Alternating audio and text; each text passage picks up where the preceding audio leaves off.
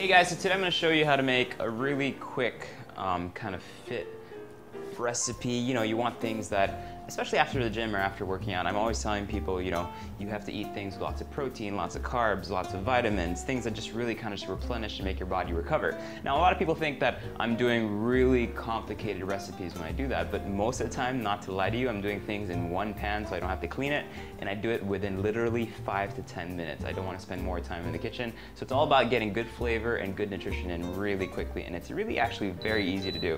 So I've got one pan going here, a little bit of olive oil. So when I cook with olive oil, I always try to make it maximum one tablespoon. So that's really good fat, but you don't want to put too much fat in your diet either. So um, balance is always very key. A little bit of garlic. This is just because I'm Filipino and that's where the flavor kind of comes from. This is just a really basic fried rice. So when you're making fried rice, you're not burning the garlic, you're just kind of getting it to really release all its aromas. And once that's happened, you can go ahead and add the garlic. The longer you wait, the less pungent the flavor. So I like my garlic rice to be kind of very pungent. After a workout, I recommend usually 1.5 cups of brown rice. A lot of people leave it at that, but it's also really important to kind of season the rice. So a little bit of salt, a bit more oil, and you just want to make all that come together nicely. And if it's pre-cooked rice, like what I'm using today, what helps is a little bit of water just to bring back some moisture to the whole dish. And don't worry about this because the water will just dissipate out.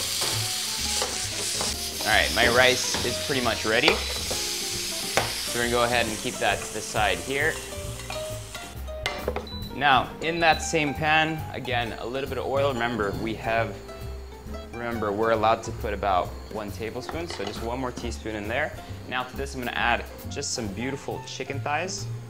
I love using chicken thighs because they're full of protein, but they also have good fat in them, so you have all that beautiful chicken uh, taste as well. So these are really thinly cut, marinated in some gochujang, which is a Korean red bean spice, and then some garlic, obviously, and some onions.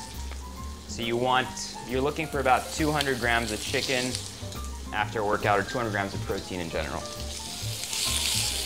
Since these are really thinly cut, they'll be very easy to cook all the way through. Once that first side is cooking, we're gonna add some eggs. So again, eggs, high in protein, high in good fat. A lot of people think that they're too high in cholesterol, but the truth is it's full of good cholesterol that your body actually does need. So I'm gonna go ahead and place three eggs into my bowl here.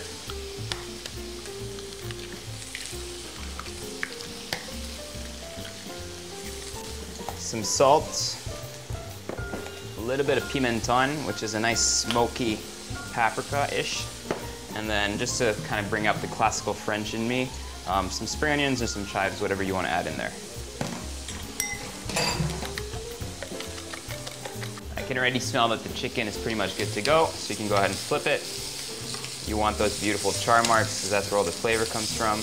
Once the chicken is cooked, we can go ahead and place that into our bowl as well.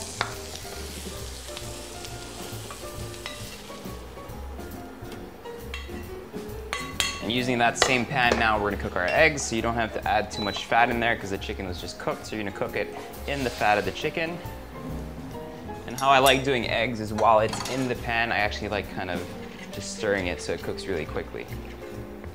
The idea here is I want the eggs to be creamy without necessarily having to add any butter or cream in them.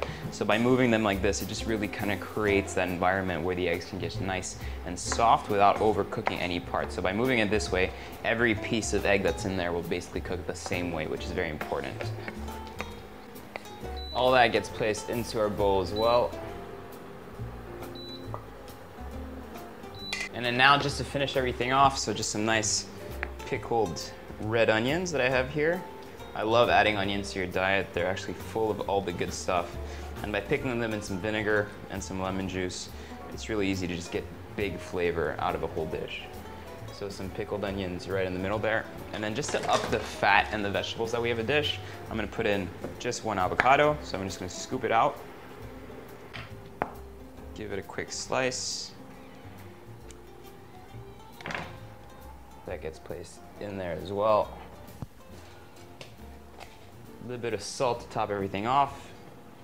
Some more of my spring onions and some chives, and just because I love spicy food, some sriracha goes right on top. and you've got your perfect one bowl power post-workout meal.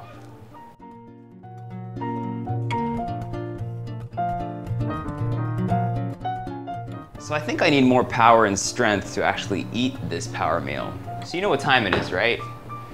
It's morphing time. Tyrannosaurus!